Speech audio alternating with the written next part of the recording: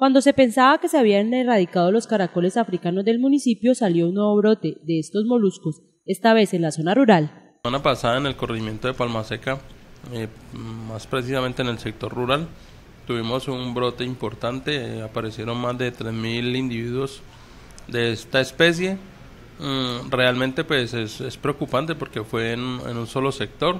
Eh, de todas formas se hizo el operativo correspondiente Mm, se aplicó pues el decreto como, como, como lo relaciona y como se manifiesta, se le dio trámite. Mm, estamos eh, con el comité eh, permanentemente reunidos.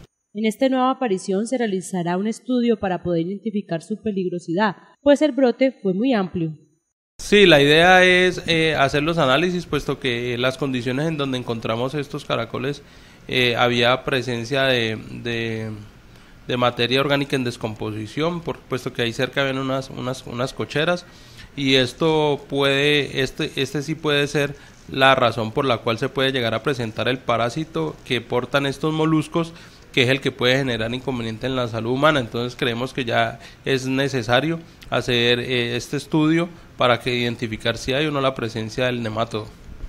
Es de destacar que en la zona urbana no se han presentado nuevos brotes, pero hay que mantener la alerta y dar aviso si se presenta.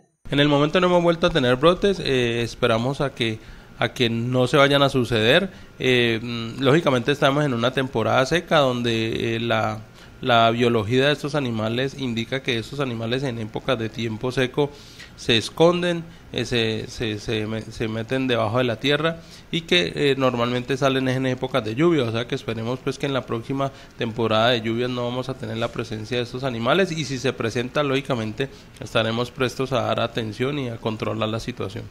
Si se manifiestan estos moluscos deben de estar atentos, pues ellos generan un desequilibrio ambiental.